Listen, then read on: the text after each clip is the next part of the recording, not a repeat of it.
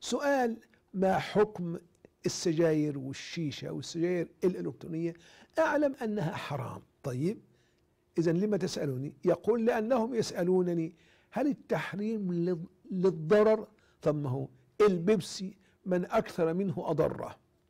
وما حكم الحشيش؟ ومن يجلسون مع متعاطيه دون تعاط من قبلهم.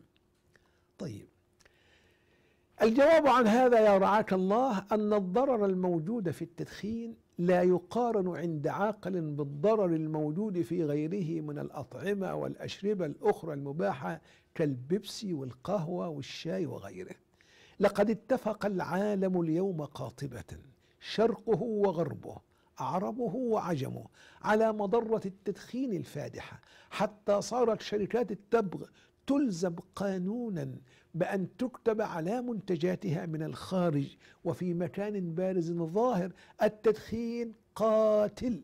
التدخين مسبب رئيس للسرطان والأمراض الفتاكة فلا يقارن هذا بذاك عند عاقل. أما الحشيش تحريمه مجمع عليه عند أهل العلم لما يحدث عنه من تغييب للعقل بإسكار أو بتفتير وقد نهى النبي صلى الله عليه وسلم عن كل مسكر ومفتر. المفتر ما يورث الفتور والخدر في الأطراف. وهذا الحديث دال على منع الحشيش بخصوصه لما له من أثر التخدير والتفتير الذي لا ينكر. ويتناول هذا الفجار لما فيه من النشوة والطرب. وقد حكى القرافي وشيخ الإسلام ابن تيمية الإجماع على تحريم الحشيش. ثم قال ابن تيمية رحمه الله من استحلها فقد كفر وإنما لم تتكلم فيها الأئمة الأربعة رضي الله عنهم لأنها لم تكن في زمانهم وإنما ظهرت في أواخر المئة السادسة وأول المئة السابعه حين ظهرت دولة التتار. أما مجالسة المحششين أصحاب المعاصي دون نكير عليهم لا تحل. إن أهل العلم يحضونك يا ولدي ويحضون أمثالك على مصاحبة أهل الخير ومخالطتهم ومجالستهم والبعد عن رفقاء السوء.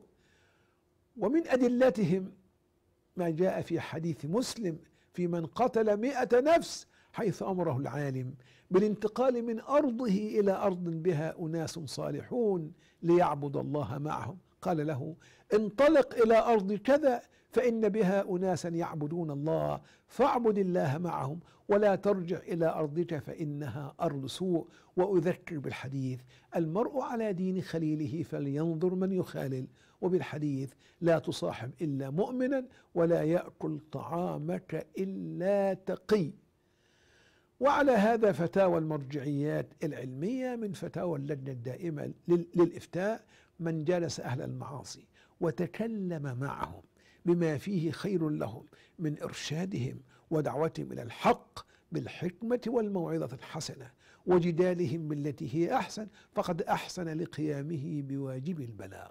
فإن استجابوا فالحمد لله. وإن أصروا على عصيانهم فقد أعذر إليهم الحجة عليهم وجب عليه اعتزالهم.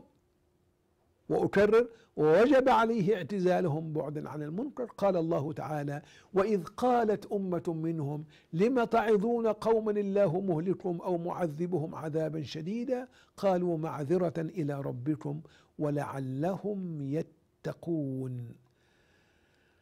اللهم اهدنا سواء السبيل وقنا عذابك يوم تبعث عبادك.